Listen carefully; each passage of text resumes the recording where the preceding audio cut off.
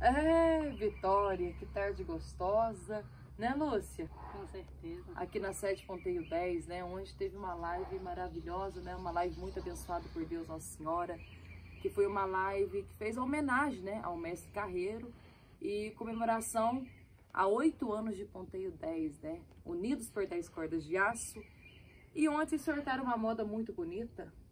Essa moda homenagem ao Carreiro, né? E essa moda é composição da senhora, né, Lúcia? Sim.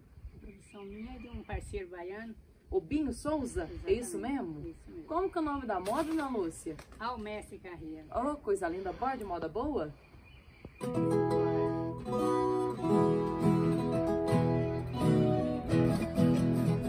É com muito orgulho que pego na viola e nesse momento a saudade me inspira.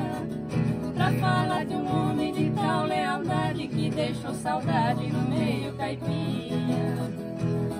Foi amigo e tratou com igualdade, com simplicidade, cantor brasileiro. Encantou seus fãs por toda a paragem, com muita humildade e sem pabulagem.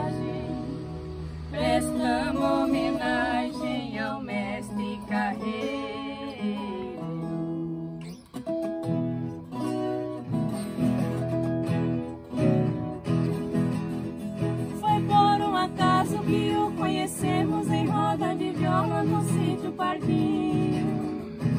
Um violeiros que há tempo passados cantava em dupla com o Carreirinho. Cantava bonito com a viola no peito e foi desse jeito mostrando seu brilho. Deixou o seu nome na cultura impresso com outro parceiro, fez muito sucesso.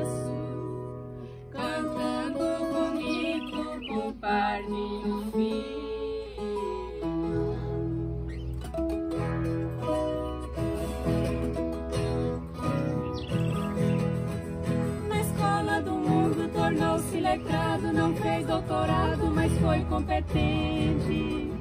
Mostrou para o mundo sua capacidade com a tradição, não foi displicente. Nas rodas da vez, fez do peito um com amor e carinho, na viola abraçado. Da segunda voz foi rei foi dono, porém certo dia deixou o seu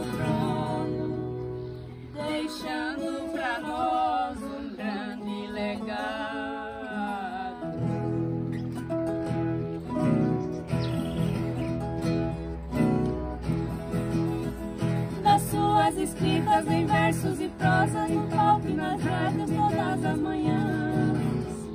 Cantou a tristeza do seu coração, cantando sem dó, alegrando seus fãs.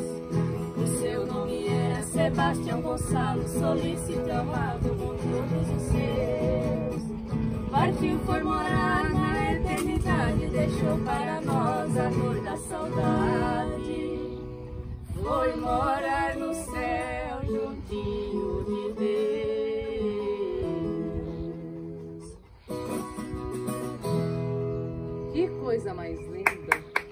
Olha, até o cachorro, olha coisa mais linda. Até ele quis participar aqui, até ele gostou. Gostoso isso.